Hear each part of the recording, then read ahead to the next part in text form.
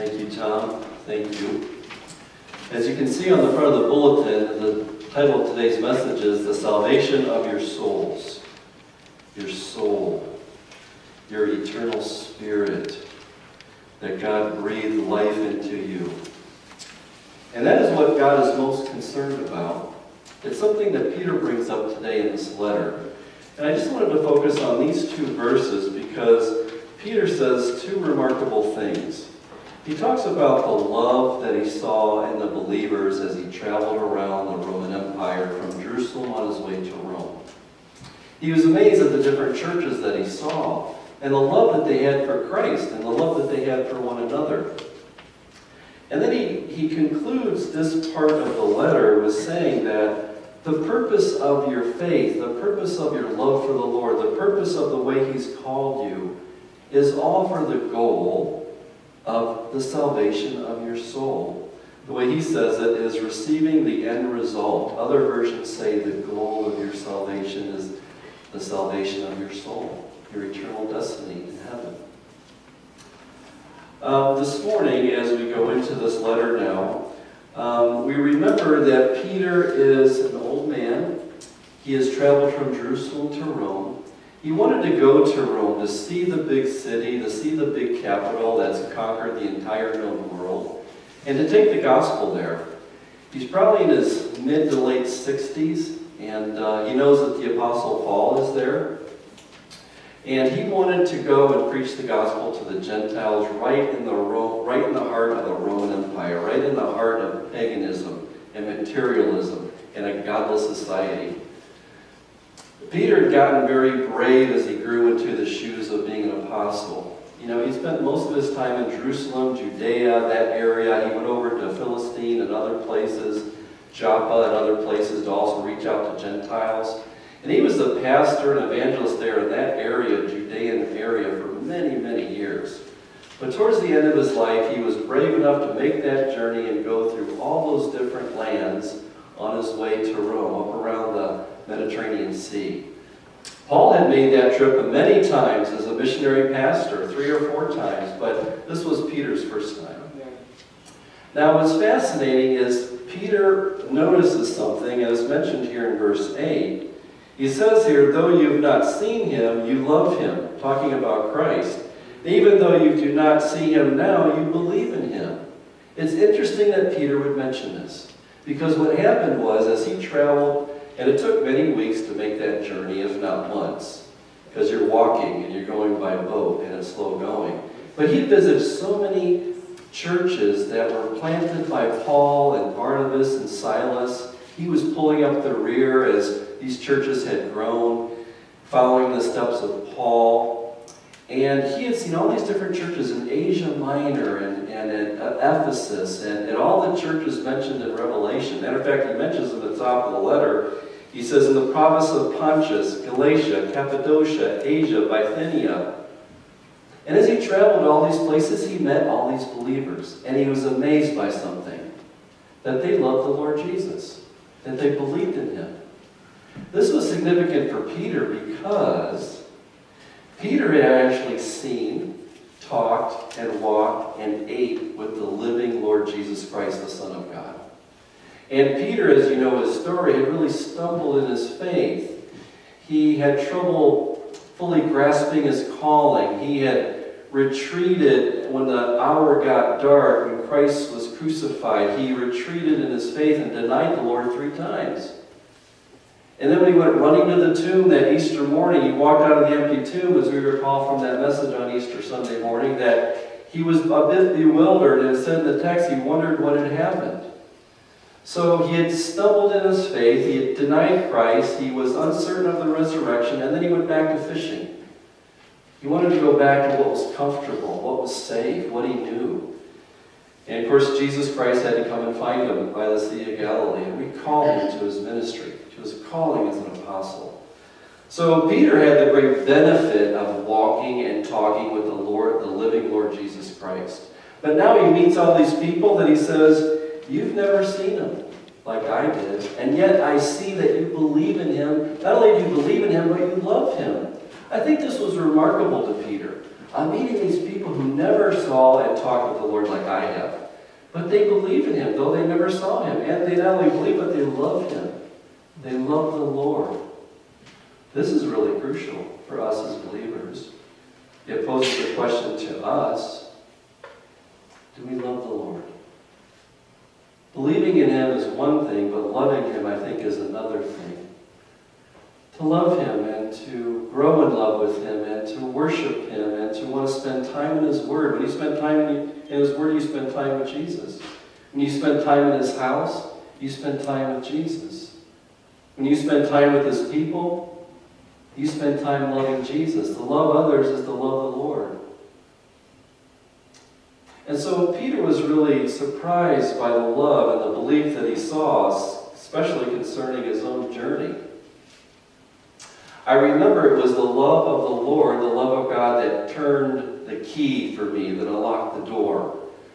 Because as you know, I was born and raised the son of a pastor, son of a priest. I was born and raised in a Christian home, heard all the Bible stories, went to church two, three times a week, and knew all about it. And of course, I was in large churches where my dad pastored, and the hustle and bustle of people and ministry. I mean, back then in the 70s, 60s, and 70s, I mean, churches were full. I mean, in the 60s, everybody went to church, it was expected. You know, these are churches of a thousand or more people.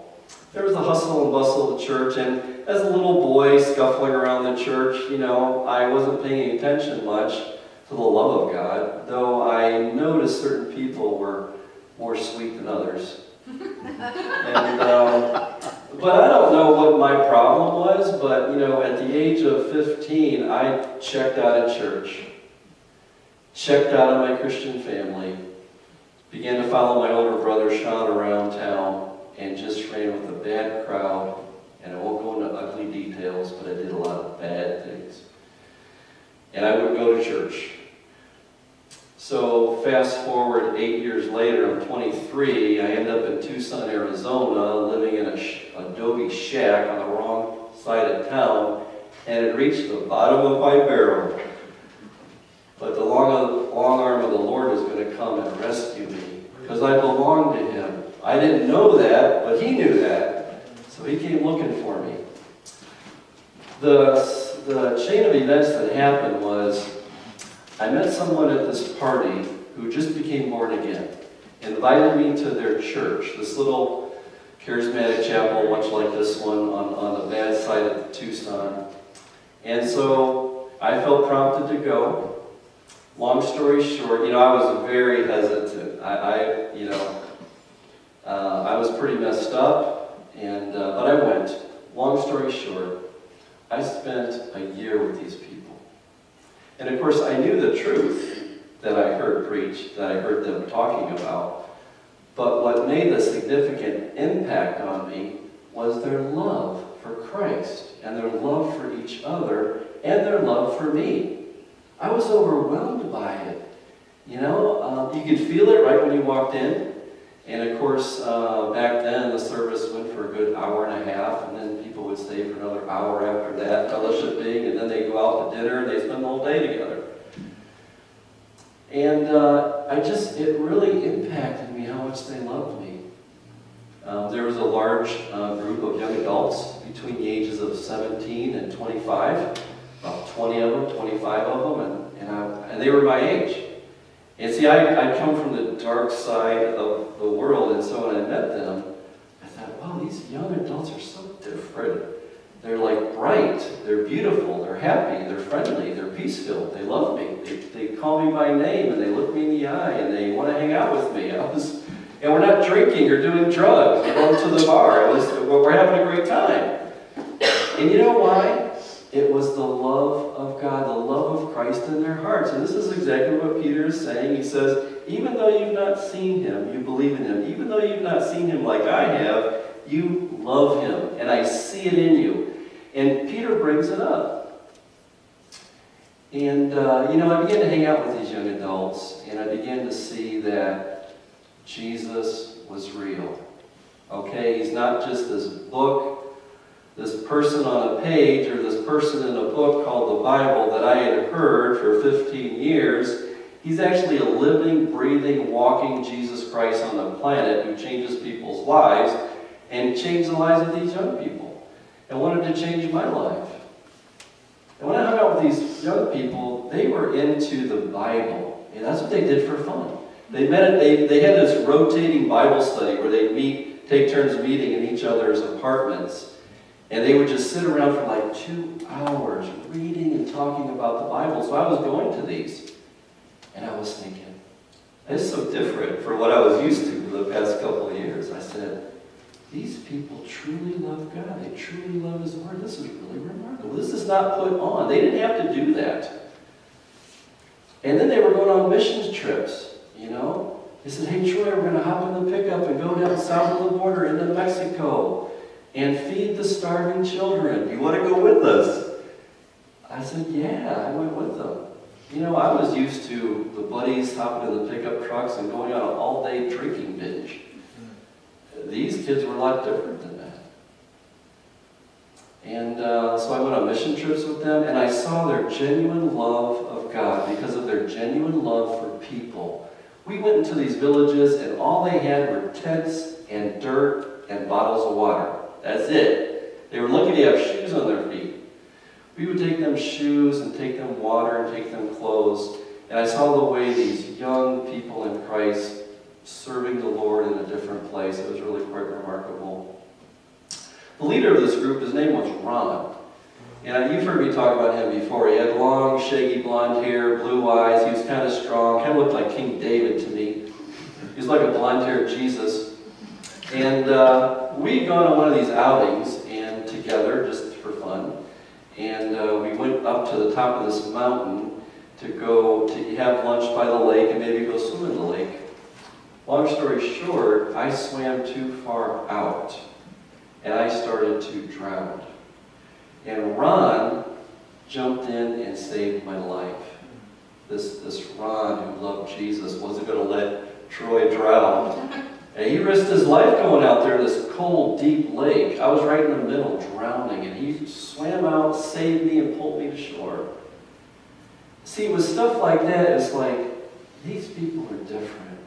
They're different. They're risking this. They're risking their life to save my life. They're going south of the border to, to feed poor children. They didn't have to do that. They get together every week for Bible study, and they love it. And then I go to church on Sunday, and they're like at a rock concert, having that kind of fun. It, it made a difference. And so, in the simple verse where Peter says the same thing that he noticed, I noticed, and he noticed that even though you never saw him, you believe in him. Even though you never saw him, you love him. And it's something that impressed Peter, and he brings it up here in the verse. Now, what's important about love is that it reveals that we love Christ. And it's so very important. So very important. The Apostle John puts it this way the importance of love through the believers to other people.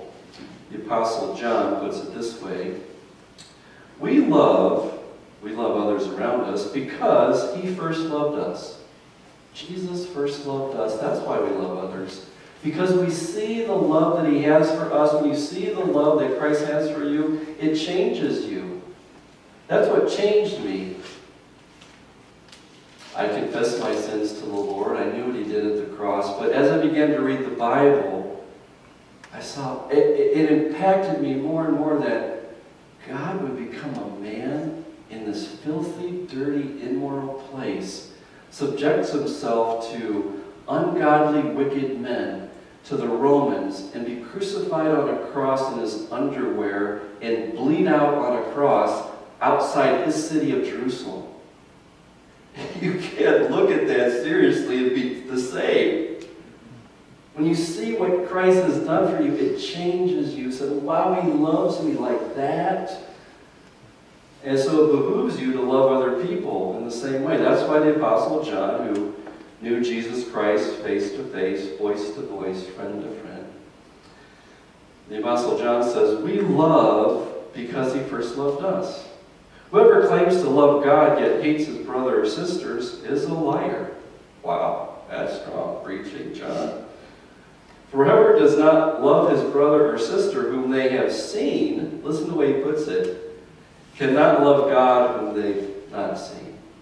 And that's something that Peter brings up. They've not seen the Lord like I did, but yet they love one another. See, Christ changed them, even though they're on the other side of the empire, the other side of the world. The love of God changed them. And now John brings it up as really a command. In the Greek, it's a command. Talking about you must love your brothers and sisters. If you say you love God whom you've not seen, you need to love your brother and sister who you do see sitting right next to you. And he has given us this command, so he makes it clear. He says it's a command, and he's given us this command. Anyone who loves God must also love their brother and their sister. And love is manifested in the way that I just told you the story about the young people I met on the backside of Tucson, Arizona. They would look in your face, call you by name, give you a hug, invite you out for a meal, invite you to the Bible study, invite you for the outing. They're going on an outing today. Are we going because we love one another? Invite me to a mission trip, invite me to church, invite me to a Christian concert, invite me to their home for dinner.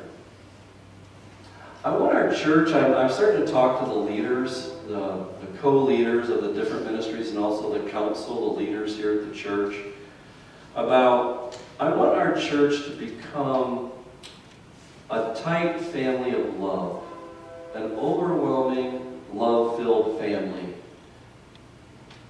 We're a family of worship on Sunday and also a family of love. I want us to be a, a family of fellowship and of faith and of love at some point during the week too, where we get together. We make time to get together. You know, in the book of Acts they did. At this church that was experiencing revival in Tucson back in 1986, they did. Here I've seen that blossom and grow, and I want to see it to grow more. That we, we are a family of faith, a family of love, a family of fellowship, along with being a family of worship. You know, there's a lot of churches, and here's what happens. They become a Sunday morning only church.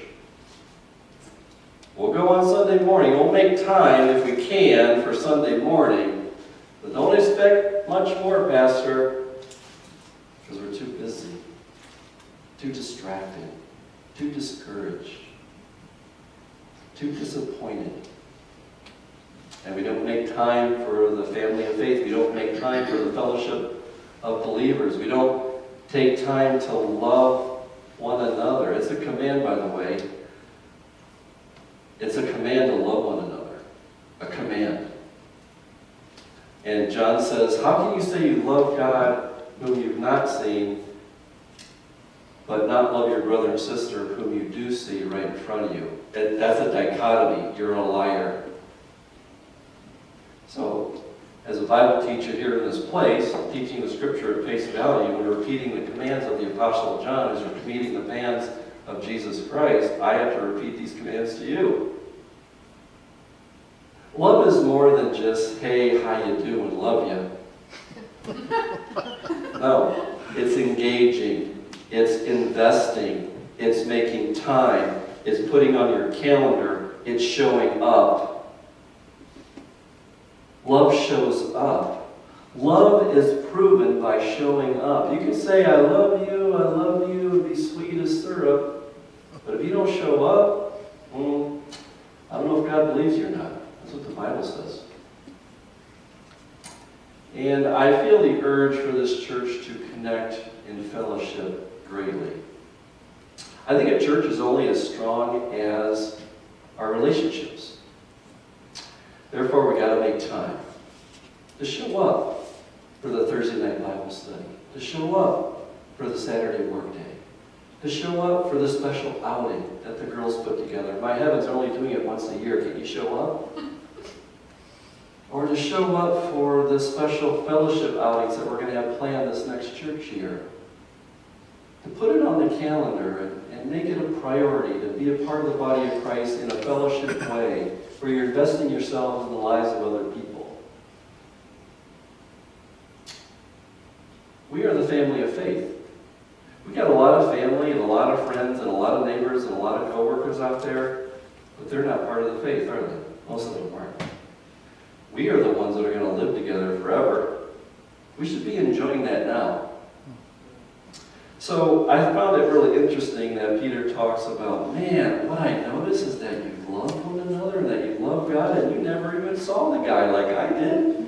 And when I saw him, I was struggling. You guys don't seem to be struggling at all when Peter saw these people in, in Bithynia and Galatia and Cappadocia and Asia. He was impressed.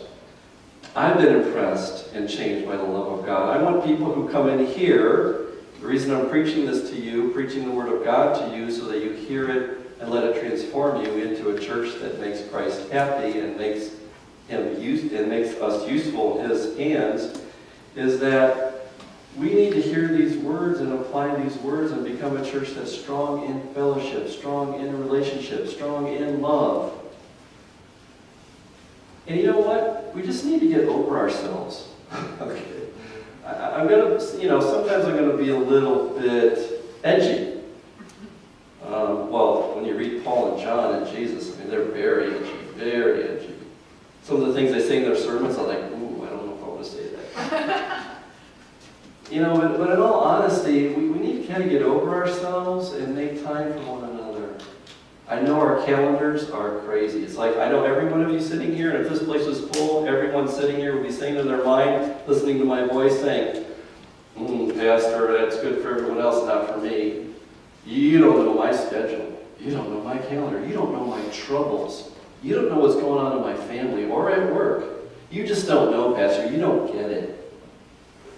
No, no, I get it. I, I get it.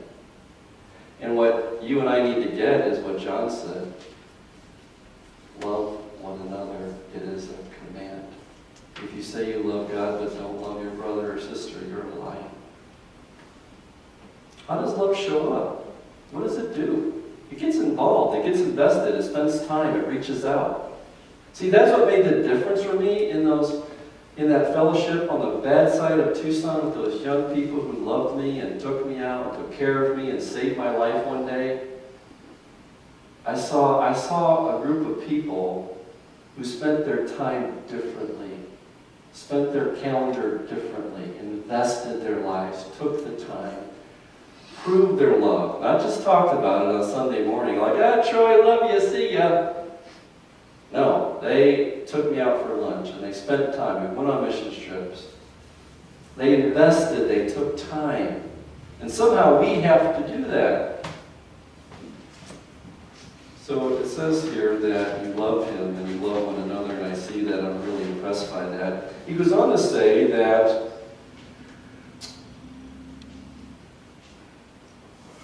he, he ends by saying, Love him and believe in him, and you are filled with inexpressible and glorious joy.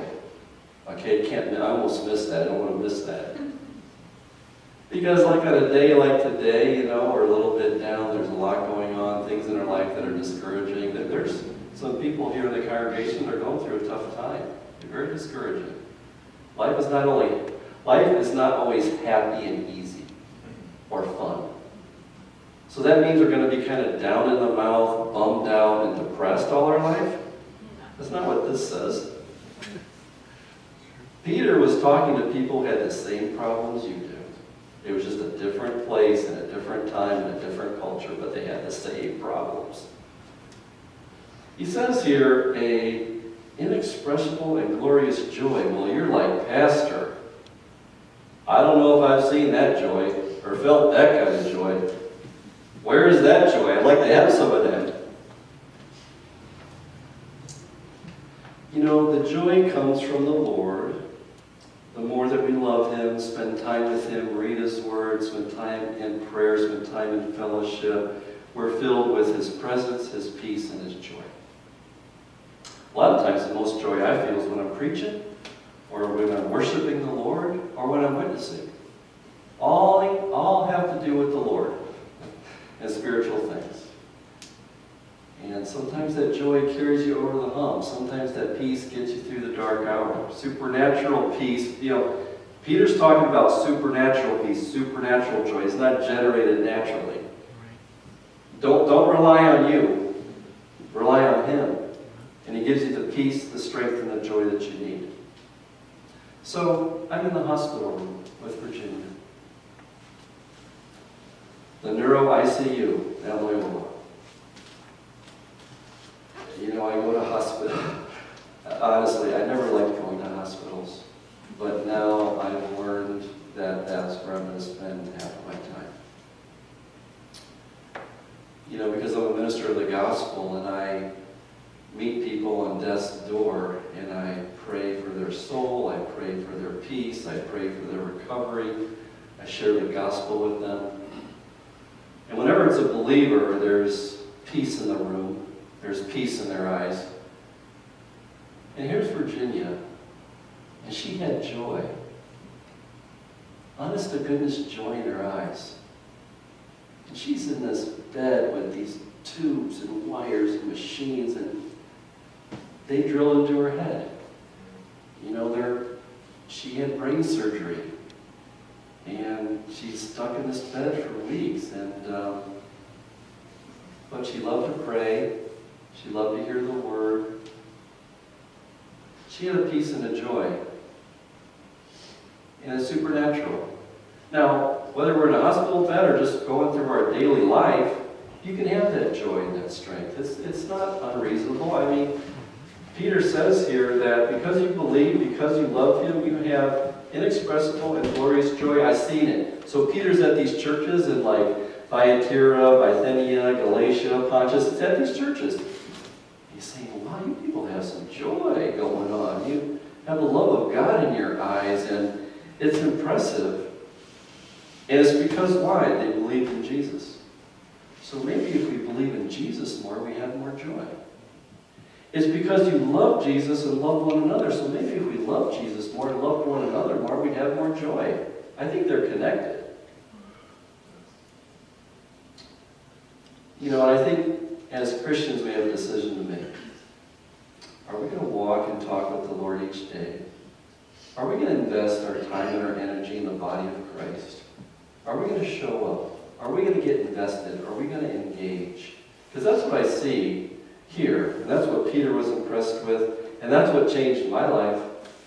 See, I was in church. I did the church thing. And it wasn't until I saw the love of God in people's eyes and they proved it to me by the way they lived that I began to take Jesus serious. I thought, these people think Jesus is real.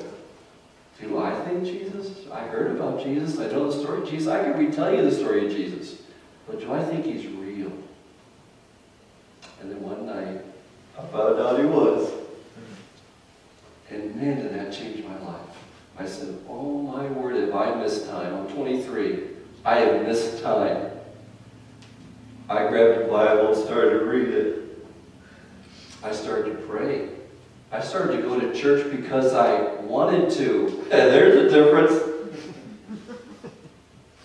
And I began to love people like never before. Loved my parents for the first time, probably, when I came back home. Because I put them through hell. Yeah, that's a just straight way to say it. And I and I beg for their forgiveness. That's a changed life.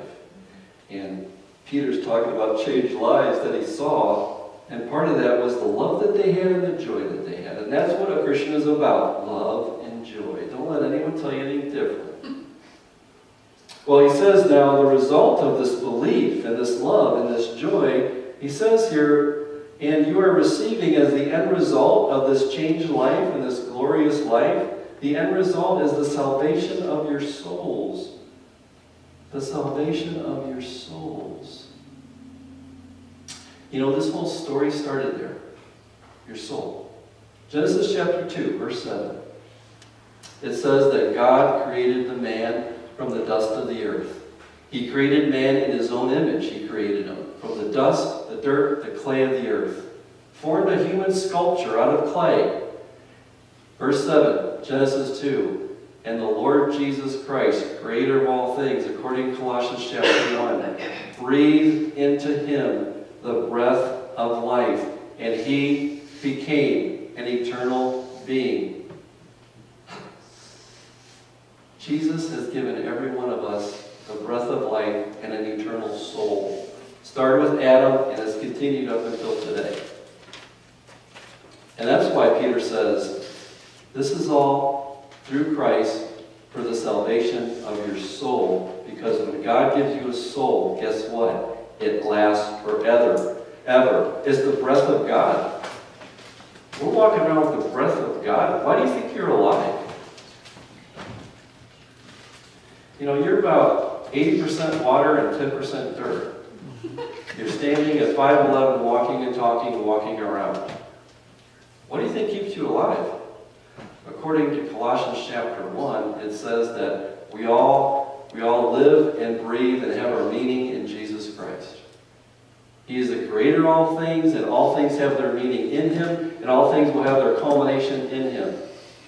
So this is all about Jesus Christ.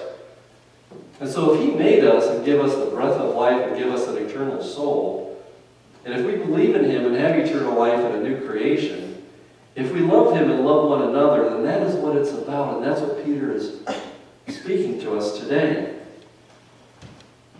The soul is so very important. The soul is so very important. Jesus put it this way. Jesus said to his disciples and the people gathered around, Whoever wants to be my disciple, he must deny himself, take up his cross, and follow me. For whoever wants to save their life will lose it, but whoever wants to lose their life for me will find it. Lose your life. Make, make time on your calendar. Get involved. Get invested. What good will it be for someone to gain the whole world, yet forfeit his very soul? This is another interesting statement Jesus makes. Or what can anyone give in exchange for their soul? You going to stand before the Father and try to barter with him over your soul? Wait, wait, wait, wait, wait. I, I know I didn't believe in Jesus. You know, I know I ignored church and I hated Christians, but wait, wait, wait, wait. I, I'm very wealthy. I got, I can come up with 10 mil right now. I got multiple properties. I'm a well-respected executive, at the top, top one percenters. Wait, wait, wait. Let me buy my way out of this. As a preacher, let me tell you, and let me tell the world, that's not going to work. No, that's why Jesus says this. What will man give in exchange for his soul? The salvation of your soul. What if a man gains the whole world but loses his own soul? It's all about where your soul will spend eternity, according to Jesus. It says here, For the Son of Man is going to come in his Father's glory with his angels. Oh, really? Jesus is returning? He's bringing angels with? Yeah. Yeah, see, that's the reality. Not this nonsense that you see going on in TV or at the club or in the neighborhood.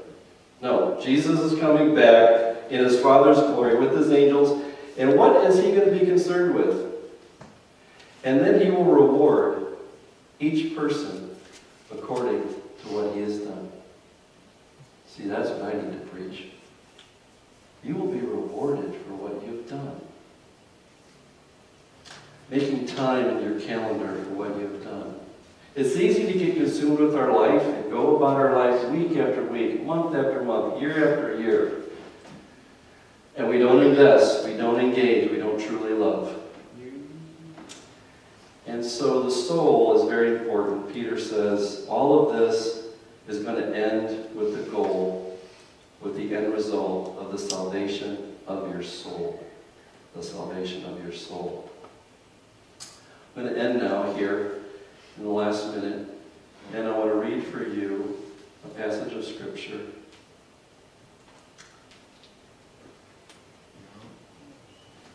Oh, here it is. Okay, so the salvation of your soul. All right, Pastor Troy, what does the Bible say about where our soul goes, and why is that so great? what's going to happen to our soul in eternity? Once again, the Apostle John says it this way looking into heaven, looking into eternity, looking at what our souls will be doing. Listen to what it says. Revelation 20, verse 9. I saw thrones. Apostle John is in heaven. He's describing what he saw. This is where we're going, by the way. I saw thrones on which were seated those who had been given authority to judge. He's talking about men. Men are given thrones and authority to judge. And I saw the souls. Wait, what did he say? I saw the souls of those who had been beheaded because of their testimony about Jesus and because of the Word of God. That's what happens at the end of time, by the way. Those who believe in Christ will be beheaded. They had not worshipped the beast or his image, or had not received the mark on their foreheads or their hands. They came to life. Resurrection. They came to life and reigned with Christ for a thousand years. The rest of the dead did not come to life until the thousand years were ended. That's the second resurrection that Paul and John talk about. This is the first resurrection. Blessed and holy are those who share in the first resurrection. The second death has no power over them. Interesting. The second death, what is that? When you die, you're thrown into hell. And all the apostles and prophets say it's a second way to die. You think dying's bad? Wait till you're thrown into hell. You die twice. That's what they say. And I got to repeat it in 2022. And I like I know that nobody wants to hear this. But you know what? I speak for him. And I'm going to stand before him and I'm going to say it as clear and as sober and as compassionate as I can. Even in a day where people don't want to hear it. It says that many will be thrown into the second death. But we, we will be the priest of God and of Christ and will reign with him for a thousand years. I know we think these 70 to 80 years that we might have the benefit of getting are a difficult journey.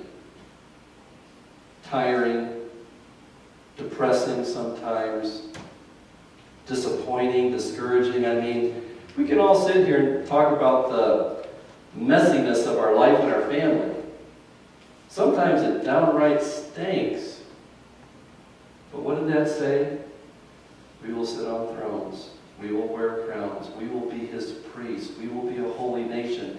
And we will reign with him for a thousand years. A thousand years. And we're just getting started. That's the millennial reign. Then after that starts eternity. And we can't even have our minds blown by what that's going to be. So, the goal of our faith is the salvation of. And we prove that best by the way that we love one another, truly, practically love one another. Heavenly Father, we're grateful today that we could look into your word and see these written words by the Apostle Peter who walked and talked with you. And he was really quite amazed at the people that he met around the Roman Empire who believed in you and loved one another, even though they had not seen you.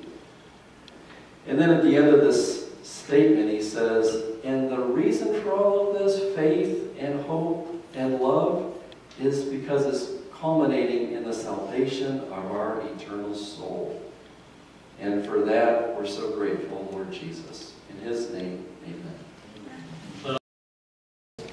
As we close today, let me say a prayer of commitment, a prayer of change a prayer of wanting to get involved in loving other people more than we ever have before. If you want to agree with that or be willing to try that, uh, follow me in prayer in your heart. Heavenly Father, we often live busy and discouraging lives. Things here on the planet aren't going so good. But Lord, we're looking forward to your return and your kingdom. This is where we pin our hope. Uh, Heavenly Father, for those of us here, myself included, Heavenly Father, we pray that you'll help our hearts take courage. You'll help our schedules make time. You'll help us invest in the people of God, in the kingdom of God, in the house of God, in the things of God. Lord, we have been distracted, discouraged, busy. Help us change that about ourselves. Help us to invest in other people and invest our time here in the ministries and in your house. Bring a change to our hearts. If you've prayed that prayer, say with me, Amen. Amen. Amen. Thank you, everyone.